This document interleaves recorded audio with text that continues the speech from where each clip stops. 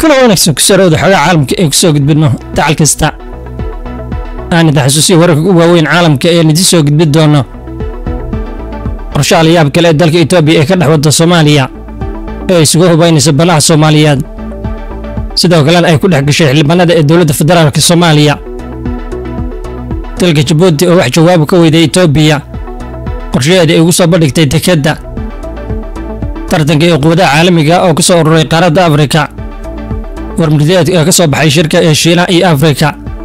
Iyo dalka shiinaha oo ballan qaaday hal milyan oo shaqo. Dacwad ogaa ee maxkamadda caalamiga ee cadaaladda dunida.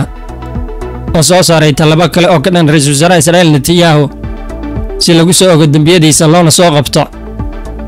Waxaa ka soo baxay socdaalka ee madaxweynaha dalka masar uu ku tegay dalka turkiga. U diyaar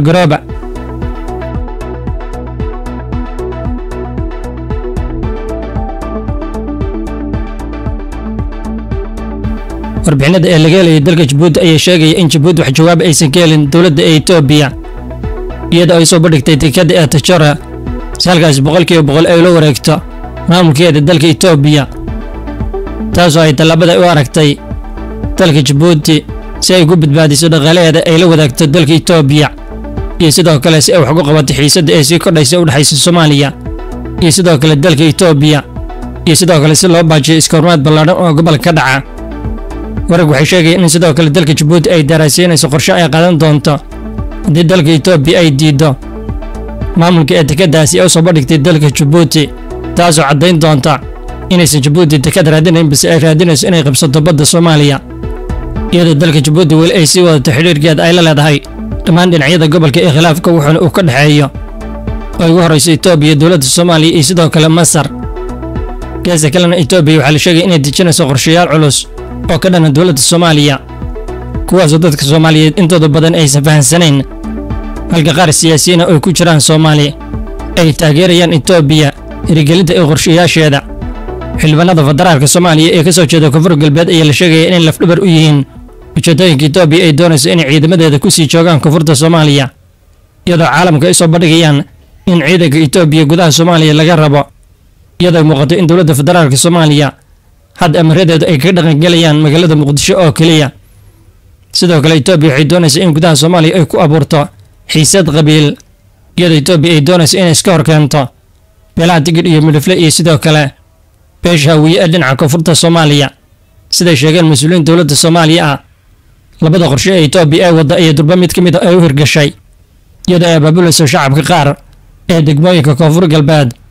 Iyadoo ay direen fariimo caalamka ay ku sheegayaan rabitaanka ciidamada etoobiya arrintan waxay sidoo kale ay ka hor imanaysaa ciidamada dalka masar ee lagu waday inay gaadhaan koonfur galbeed iyo sidoo kale hirshabeelle iyo qaybo ka mida galmudug taasoo dhabarjabo ku ah qorshaha dowladda soomaaliya ay doonaysay in ciidanka etoobiya dalka looga saaro dhammaadka ee sanadkani. Qorshaha labaad ee etoobiya ay doonayso inay isaga horkeento beesha digir iyo midifle iyo beesha hawiye maalmo ka hor waxaa magaalada muqdisho shir ku qabtay xildhibaano badan oo ka soo jeeda koonfur galbeed kuwaasoo sheegay in ay la daran yihiin shacabka ay matalaan. Balse waxaa u jawaabay xildhibaano iyo siyaasiyiin kale oo sidoo kale ka soo jeeda beesha hawiye waxaana dadka reer koonfur galbeed ay arrintan u bedeleen mid qabiil waxayna sheegeen in beesha hawiye ay ka xigsanayso dowladnimada soomaaliya taasina aan la aqbali karin. Xugu waxay sheegayeen in xildhibaanada taageersan dalka etoobiya ay doonayaan inay gaadhaan baydhabo iyadoo ay sheegayaan in naftooda ay la baxsadeen cabsi muqdisho taasoo qayb ka ah si la ysaga horkeeno beelaha ee koonfurta soomaaliya iyadoo etoobiya ay ka dalban doonaan inay difaacaan. Etoobiya waxay sidoo kale waddaa qorshe ay doonayso inay ku eebabisho shacabka ee gedo si la mid ah shacabka ee xudur ay doonayaan in ay soo hadlaan oo halkaasi ay ka dhacaan banaanbaxyo la doonayo in looga dalbado in ciidamada etoobiya aan looga saarin. Odayaasha dhaqanka ee gobolka gedo ee horey qorshahan u diiday ciidamada etoobiya ee gedo jooga waxayna caddeeyeen inaysan doonayn inay galaan arrimaha ku saabsan joogitaankooda ee soomaaliya. Madaxweynaha dalka shiinaha shi jibin ayaa ballan qaaday in yaraantii hal milyan oo shaqo uu abuurayo afrika iyadoo isku dayayo in beijing uu ka dhigo saaxiibka horumarka ee koonfurta caalamka iyadoo ka hadlayay madasha ee shiinaha iyo sidoo kale afrika khamiistii. Shii wuxuu sheegay in shiinu uu siin doono waddamada afrika saddex boqol iyo lixdan milyan. Waa maalgelin cusub iyo taageerada soddon mashruuc oo kabayaasha dhaqaalaha si kor loogu qaado isku xidhka ee qaaradoo dhan iyadoo la hadlay in ka badan wafuudda konton dal oo afrikaana ee madasha beijing iyo madaxweynaha shiinaha waxaa sidoo kale uu sheegay in laba boqol iyo toban bilyan oo ah lacagta shiinaha oo u dhiganta labaatan iyo sagaal dhibic lix bilyan oo dollar ay ku maalgelin doonaan. Kaalmada maaliyadeed ee madaxweynaha shiinaha ugu yabahay afrika ayaa noqon doonta lacagta shiinaha oo ah dalabka muuqda si loo calaamadiyo lacagaha ee shiinaha. Madaxweynaha dalka shiinaha waxaa sidoo kale ugu baaqay isku xidhka shiinaha iyo afrika ee xidhiirka dhulka badda iyo sidoo kale horumarinta isku xidhan. Waxaan si wada jar u dhisnay waddooyin tareenno iskuullo isbitaallo iyo sidoo kale beeraha ee warshadaha. Mashaariicdani waxay bedeleen nolosha ee balaayin dad oo afrikaana ayuu sidoo kale yidhi madaxweynaha dalka shiinaha shi jibin shey wuxuu sheegay in dadka ee afrikaanka iyo sidoo kale shiinaha wadashaqayntooda ay gaadhi karaan guulo cusub oo xitaa ka sii weyn oy hormuud u noqon karaan casriyeynta ee koonfurta caalamka. Xafladda furitaanka kadib wufuudda ayaa qaatay bayaanada beijing ee ku saabsan dhisidda mustaqbalka wanaagsan ee dhallinyarada afrika iyo sidoo kale qorshaha waxqabadka ee beijing ee labada kun iyo shan iyo labaatanka ilaa labada kun iyo toddobiyo labaatanka dalka shiinuhu waxa uu doonayaa inuu ballaadhiyo saameyntiisa afrika iyadoo sii kordhayaan kala fogaanshaha dhaqaalaha iyo diblomaasiyadda ee waddamada reer galbeedka. Oo ay ku horeyso maraykanka. Shiinuhu waa saaxiibka ganacsiga ee ugu weyn afrika iyadoo ku dhowaad afar meelood meel. Wax dhoofinta qaaradda oo badan macdanta shidaalka iyo biraha loo dhoofiyo quwadda ugu weyn ee aasiya iyadoo boqol iyo sagaashan iyo kow bilyan ugu yaboohday dalaalka afrika inta u dhexaysay labada kun iyo lixdii ilaa labada kun iyo koob iyo labaatanka khamiistii sidoo kale madaxweynaha dalka shiinaha wuxuu sheegay in shiina uu diyaar u yahay inuu wax ka qabto koronto la'aanta taasoo dib u dhigtay dadaalka qaaradda ee ku aadan warshadaynta iyadoo ku dhawaaqay in shiinu ay bilowday soddon mashruuc. Oo tamarta nadiifta ah wuxuuna soo bandhigay in layska kaashado teknolojiyada ee nukliyeerka dacwadoogaha guud ee maxkamadda caalamiga ee i c c ayaa sheegay codsiga lagu xidhay ra'iisul wasaaraha israa'iil benyamin netanyahu inuu yahay mid lama huraana si loo muujiyo in maxkamaddu aysan hayn mid fadhiida bishii may kareem khan wuxuu sheegay inuu soo gudbiyey codsiga in la xidho hogaamiyaha ee israa'el iyo sidoo kale dhowr hogaamiye oo ka tirsan iska caabinta xamaas.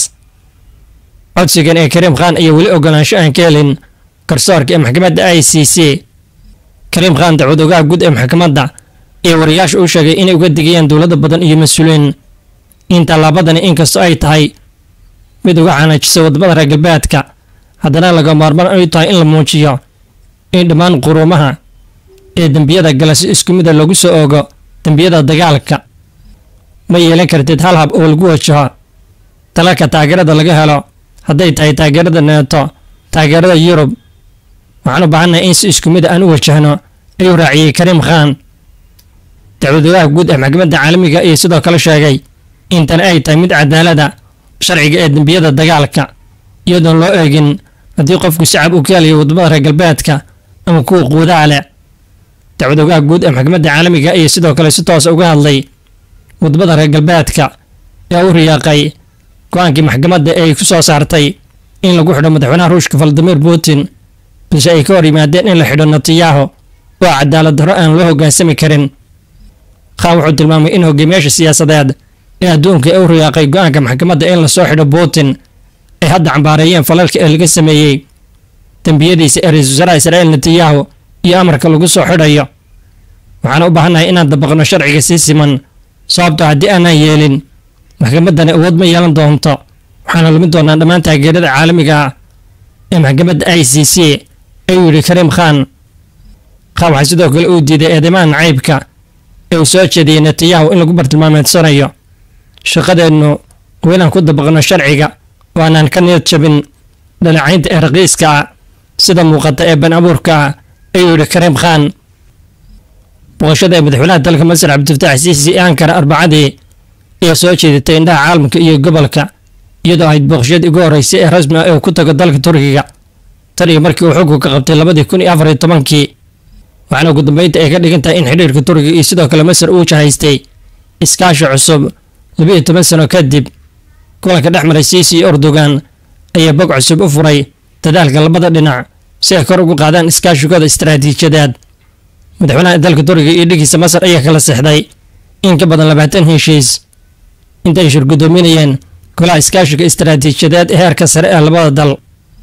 War-saxaafadeedka ayaa lagu sheegay muhiimadda ay leedahay in kor loo qaado heerka iskaashigooda oo la gaadhsiiyo heer istaraatiijiyadeed labada kun iyo shan iyo labaatanka iyadoo lagu adkeeyey xoojinta iskaashiga dhinacyada kala duwan.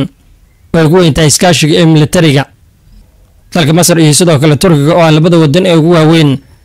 Madaxweynaha turkiga wuxuu muujiyey kalsoonida uu ku qabo hagaajinta xidhiirka wanaagsan ee turkiga iyo sidoo kale masar in wax badan uu ka bedeli doono wejiga gobolka.